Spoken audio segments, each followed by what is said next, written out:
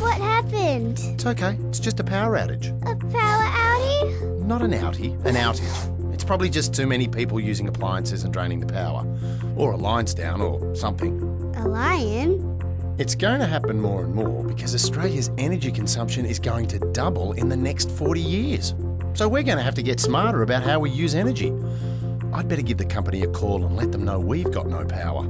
Don't they know we've got an outie? They should know that we're in the dark and there's a lion out there. You could be right. If there were sensors on the power grid, then the power company would know exactly what was happening and could automatically divert the power around the break in the line.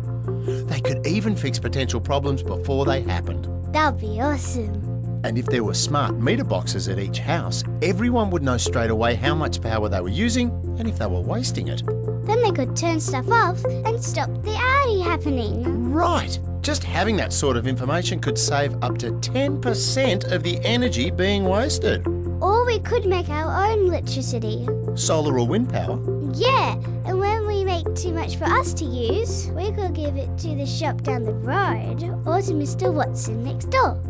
In fact, our entire street or town could generate our own power, and that would mean we wouldn't have to rely on big electrical power plants that create one third of our greenhouse gases. That'd be good, wouldn't it? We don't like greenhouse gases, do we? No, we don't. Dad, Yes, Sarah. do you reckon the lion's out there looking for one of those meaty boxes to eat? What say I find the power company to find out if they've seen any lions? Yes, please.